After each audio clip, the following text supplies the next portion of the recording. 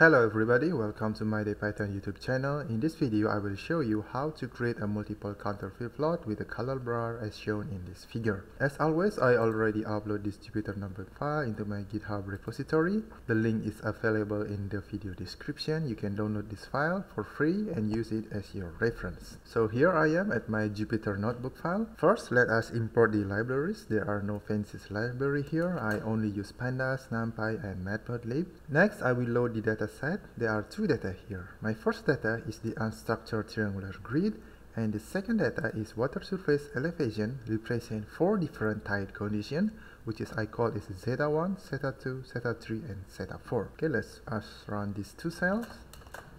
Here I create the unstructured triangular grid. I have a separate video about this one. You can watch my previous video if you need an explanation about creating the unstructured triangular grid.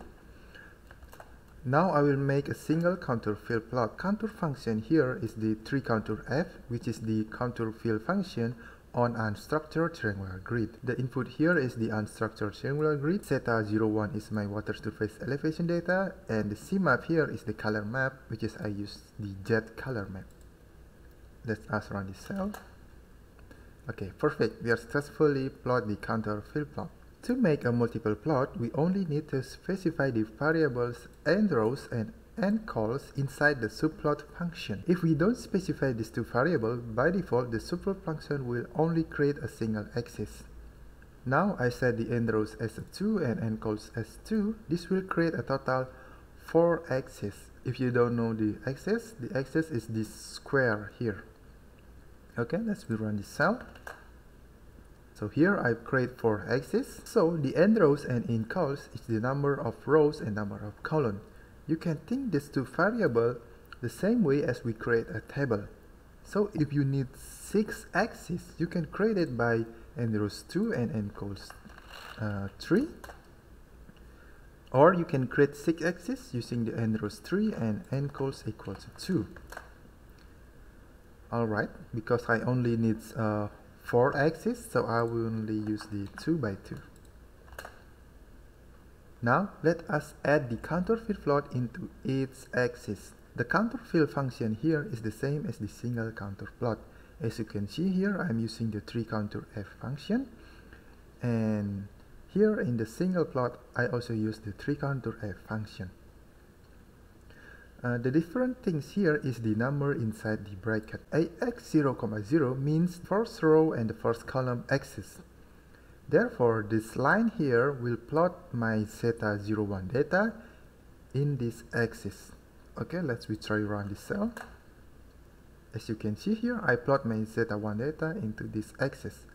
If I want to plot my second zeta or the zeta 2 data in this axis, which is the first row in the second column axis, I only to specify the x the ax 0 comma 1 and then I plot my zeta data using the tricontourf function. Let's retry around this cell. Alright, as you can see here, I plot the zeta 2 data here and if I want to plot my zeta 3 data into this axis, I need to specify the ax 1 comma 0. This means that the second row and the first column this cell. And my last data here at ax 1 comma 1 so the things that you need to remember here is the first index in Python is start from 0 so that's why 0 comma 0 here mean is the first row and the first column. And the ax 1 comma 1 here means the second rows and the second columns. Okay so that's how to create a multiple fill plot the basic concept here is specify the total number of rows and total number of columns inside the subplot function and then you plot your data on its axis. Okay, I hope you understand this concept. If you're confused with this concept, you just need to be things as a creating a table. On the second part of this Jupyter Notebook file, I customize the axis label and text label. I will skip this part because you can easily understand this part by reading this Jupyter Notebook file. Okay, so this is the final looks of multiple contour fill plot after I customize the labels and as well as the text label. For the last part of this tutorial, I will add a color bar because we use the contour fill plot and the color bar will help the reader later understand what is the meaning of this color. The important concept in adding a color bar in a multiple contour fill plot is you should make sure that its color represents the same value in all axes. So what I mean by that? Here I'm using the color map jet from the matplotlib and if we read the matplotlib documentation, the color map jet has a color from dark blue into the dark red. The dark blue represents the minimum value and the dark red represents the maximum value.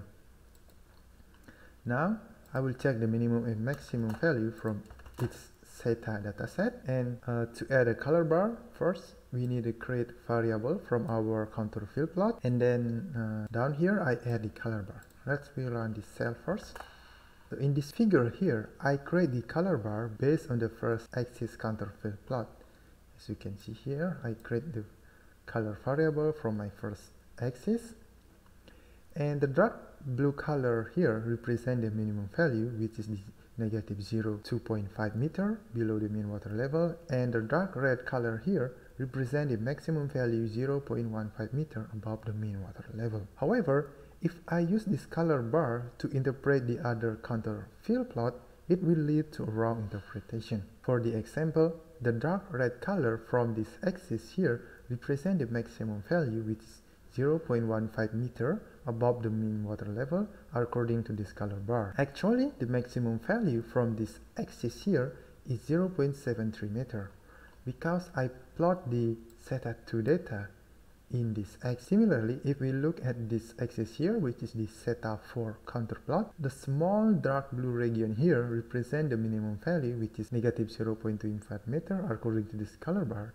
However, the minimum value from zeta 4 is negative 0.779. Therefore, we can only use this color bar to interpret the color from the first axis here, and we cannot use this color bar to interpret the other three axes here. So, the color bars should represent the minimum value and the maximum value from all these axes. So how to create the color bar that represent the maximum and minimum value from all these axes? We can easily do that using the variable levels inside the tricontourf function. Here I set the levels equal to color levels, which is a numpy array I create using numpy.linspace function. The color level here has a 100 values. Start from negative 0.779, which is the minimum value from all these axes, and the maximum value or the stop variable here is equal to maximum value from this all these axes which is 0.733 here I also set the color map equal to color underscore map. I do this in case if you don't like with the, the jet color map you can easily change the type of color map here. Okay let us run this two cell now Alright, now we can use this color bar to interpret the color in its axis. As you can see here, we see the maximum value, which is the dark blue, equal to 0.7 meter above the uh, mean water level. And here I have the minimum value, which is around negative 0.7 below the mean water level. So in the last two cell, I add an annotation text into its uh, figure here. And then in the last cell here, I save this uh, figure using the fig.savefig function. Alright, so that's all about creating a multiple contour fill plot. The important things in creating a multiple contour fill plot is first you create the axis using the variable number of rows and ncols here. The important things in creating a multiple contour fill plot is first you create your axis by set the total number of rows and columns. Next, you plot your data into its axis. And finally, you need to make a safe color map using the levels variables and then add the color bar. Thank you for watching. I hope you learned something useful from this video. See you on the next tutorial video.